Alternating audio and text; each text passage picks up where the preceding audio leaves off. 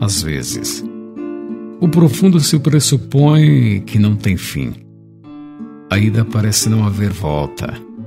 A lágrima insiste em rolar e parece ser sem fim. Pensamos estar só e não ter um ombro próximo para nos acalentar. Odiar é muito fácil e amar é complicado. Às vezes, a vingança parece ser o caminho mais curto e perdoar parece ser tão impossível. Tudo se complica. O certo se torna errado e o errado se torna certo. Os pés se cansam na jornada tão longe e cansativa. Perdemos as expectativas e achamos tão atrativa a desistência e complicado é tudo à nossa frente. E perguntamos: como será? Por quê? E agora? Esquecemos às vezes? Somos esquecidos? Lembramos às vezes? Somos lembrados? Falamos mesmo que calados.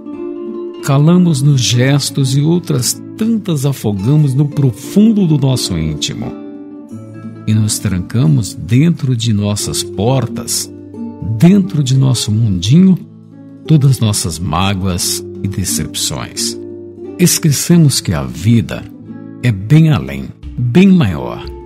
É que o mundo é grande, muito aquém de nosso próprio, do que seríamos. E quem o fez é infinito e infinitamente capaz de nos fazer superar tudo. Às vezes olhamos para baixo, outras para o alto, como criações que somos Esquecemos que quase todos os dias o sol brilha, sol que faz as folhas brotarem e surgir o verde em um lugar amarelo. O oásis em lugar do deserto, deserto que às vezes tão perto. A vitória no lugar da derrota, sucesso em vez do fracasso. É, ou às vezes aos poucos vai se transformando no sempre, sempre. E o sempre traz constância, e a constância, elegância. E assim descobrimos a beleza de viver, de insistir, de superar e de ser simplesmente nós. Texto de Aldeci Barbosa